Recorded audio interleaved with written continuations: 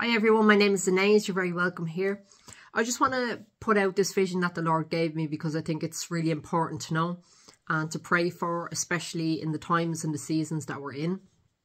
But this was a, a powerful vision and I'm just going to share it. It was just very brief and I know that God is, is asking us recently to pray for protection over people and obviously with the things that are happening in the world. But anyway, in this vision, just start off, it's like I was looking at big skyscrapers, big buildings, just swaying to and fro. And it's like, it's like it was an earthquake. And as I was looking at these buildings, I was saying, wait, is this, this is New York. This is America. And that was it, you know, and then I was praying, obviously, and then God reveals. Okay, so it looks like that there's going to be another one in America, in New York. Um, so we need to pray. We need to pray protection over people, whether it's a bigger one. Uh, people just need to be alert, you know, and those who are ignorant and, and don't believe things like this, uh, honestly, that's not my problem. I'm just here to share what I've seen. And also, it's important that we're praying for other nations, you know, against wars, especially against attacks, you know.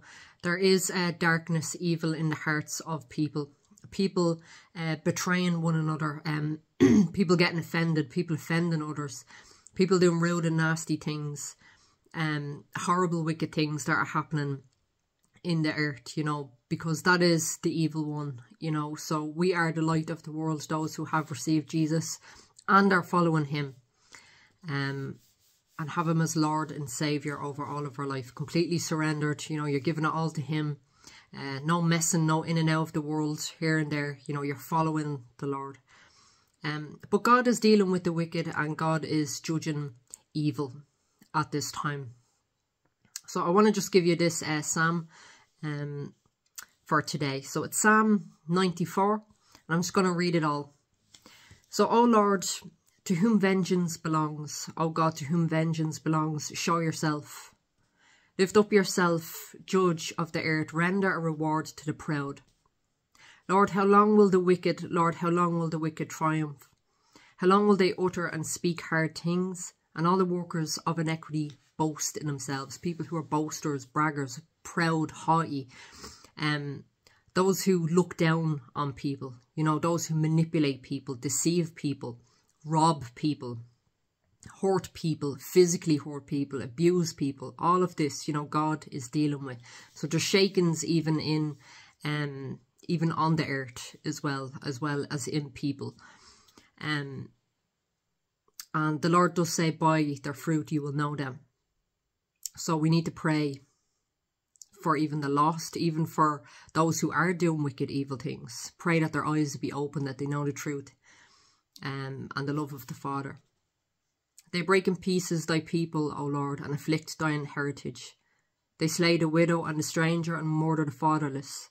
Yet they say the Lord shall not see, neither shall the God of Jacob regard it.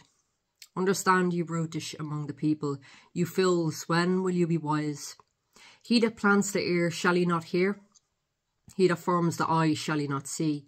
He that chastens the heathen, shall he not correct? He that teaches man knowledge, shall he not know? The Lord knows the thoughts of man, they are vanity. Blessed is the man who you chasten, O Lord, and you teach him out of your law. That you may give him rest from the days of adversity until the pit is dug, dug for the wicked.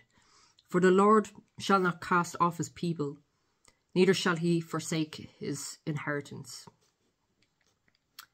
But judgment shall return to the righteous, and all the upright in heart shall follow it.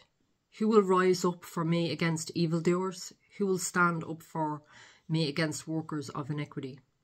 Unless the Lord has been my help, my soul had almost dwelt in silence. God is for us. When I said my foot slips, my, thy mercy, O Lord, you held me up. In the multitude of my thoughts within me comforts delight my soul.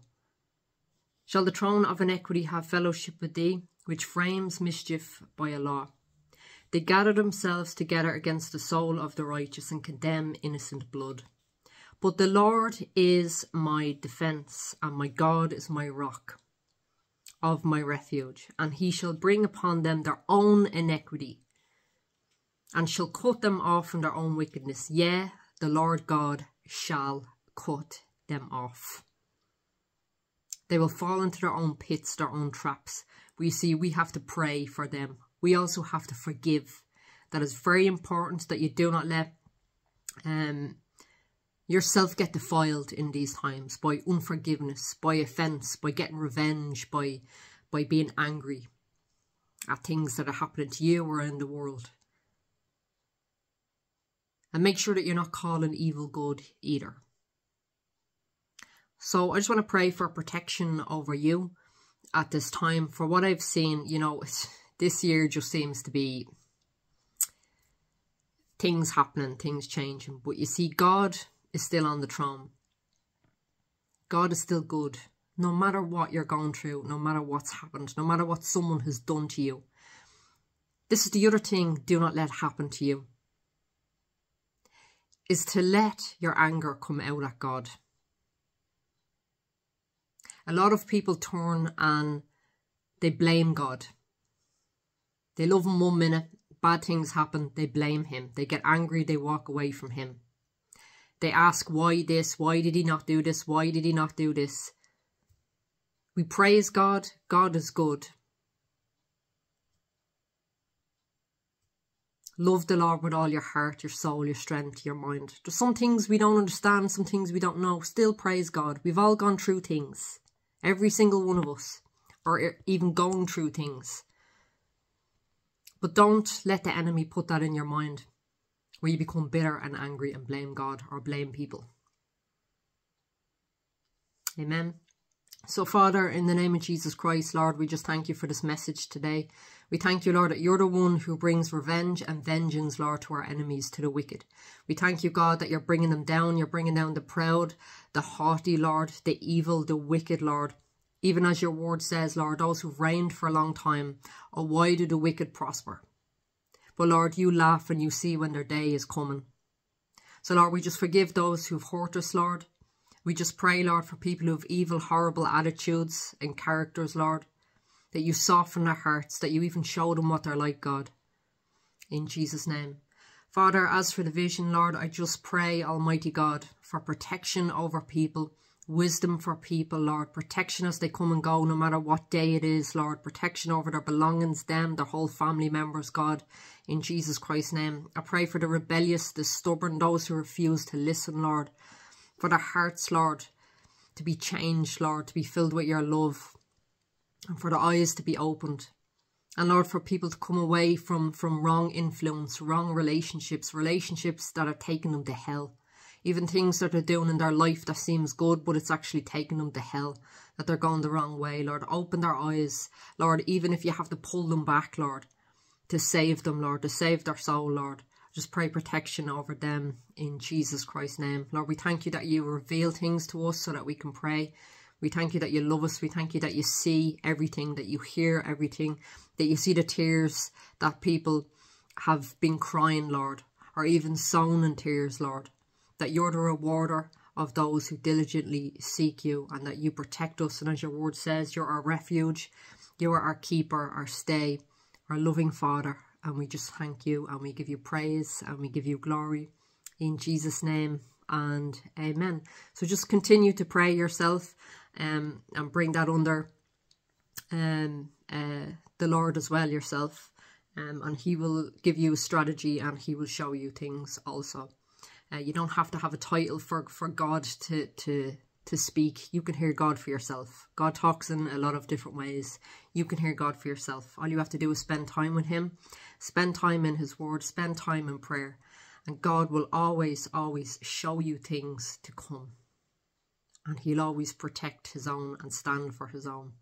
So God is rewarding the faithfulness, the obedient at this time. So God bless you all. Continue steadfast in prayer at this time. Thank you for listening.